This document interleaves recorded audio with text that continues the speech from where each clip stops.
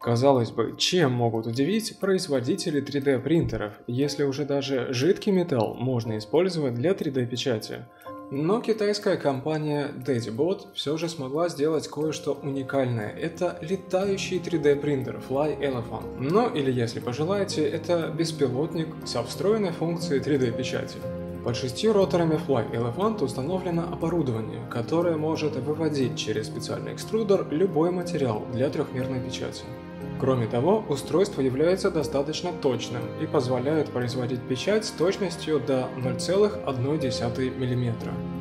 Помимо этого, летающий 3D принтер может работать совместно с другими такими же аппаратами. Рой таких принтеров может создавать одну деталь из разных материалов. При этом плюс такого подхода в том, что размер изготовленного изделия не ограничен рабочим пространством, как в обычных настольных или промышленных 3D принтерах. Есть у дрона и существенный недостаток – это малая длительность работы от аккумуляторных батарей. Но компания DaddyBot планирует оснастить устройство технологией беспроводной зарядки. В любом случае, представленная модель является лишь тестовым образцом, и китайцы продолжают улучшать и развивать устройство, которое на данный момент кажется крайне перспективным. Только представьте, рой таких дронов самостоятельно печатает здания и иные объекты архитектуры практически без участия человека.